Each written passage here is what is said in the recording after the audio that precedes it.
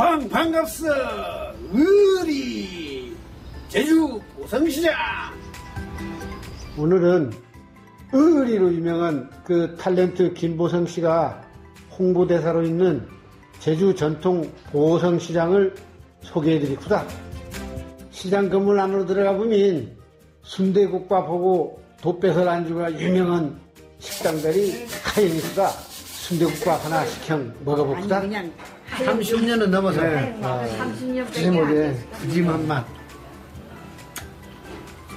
맛이 어떤과? 아맛 좋다 맛 좋수와 먹을만 할까?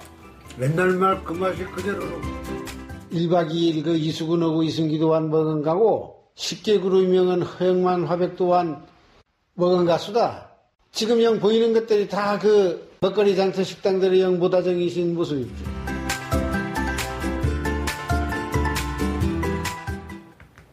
앞으로 가는 거는 저 주차장이라든가 그 외에 우리 소비자들이 불편한 점을 좀 개선도 하고 그래서 그 시장 건물 밖에는 싱싱한 과일, 야채들이 좌판에 쫙 있고 건어물이랑 뭐 수산물들 많이 있수다.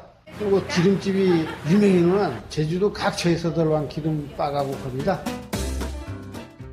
보성시장 조코띠 제주시청도 20주 50년은 넘으실 거라. 여기 그 유명한 과행성당도 있고 또 요장 옆으로는 삼성열도 있습니다. 그리고 우리 그 제주도 그 전통 문화를 전시해 놓은 민속 자연사 박물관. 돼지고기 그 국수로 유명한 국수문화 거리가 20주. 또 없어 제주. 보성시장. 의리